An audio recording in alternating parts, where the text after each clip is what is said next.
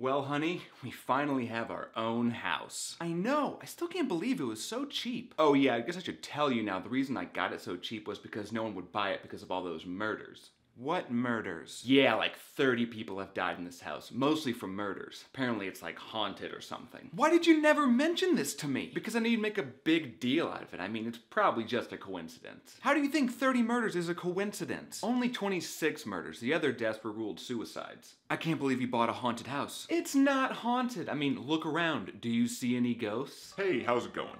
Oh no. Oh, are you with the realtor? Oh no, I'm the ghost that haunts this house. Great, there is an evil ghost here. Whoa, Susan, we just met this ghost. You can't just assume he's evil. Oh no, I'm definitely evil.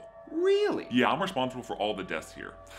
I just love killing people. Well, at least he's honest. Fantastic. Don't worry, I'm not gonna kill you. Yet. I'm actually here to give you an overview of how this haunting is probably gonna go. How professional. Now, this will be a solo haunting, so if you see any other spirits or ghosts or demons here, let me know and I'll take care of them ASAP. Now, currently I'm really into levitation, so you'll see various objects floating around the house most days, and you may even wake up in the middle of the night floating yourself. That's pretty neat. I hate you so much right now. So, the levitation and other various haunts will go on for the next few weeks, culminating in your death in a month from now.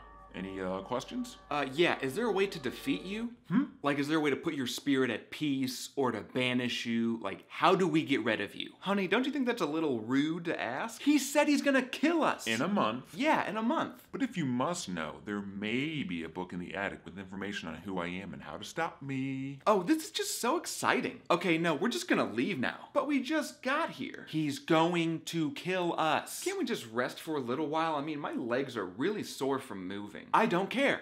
We're leaving. I mean, you could leave, but if you do, you're gonna miss the pizza party. Who cares? Let's go. Hold on, hold on, honey. Uh, what's this about a pizza party? I have a pizza party every month. Yeah, I order pizza from all the local joints around town and have this giant pizza feast. Do you get Rocco's? Oh, I get Rocco's. We can at least stay for Rocco's. We can get Rocco's tonight, as long as we leave right now. I think you're being a little rash here, honey. I say we stay here a couple weeks, you know, enjoy the pizza party, and then after that, if, you know, we don't like it, we'll just start looking at new places. Sounds good to me. Now, how about I take you on my own personal tour of the house? Sure. Great. Follow me.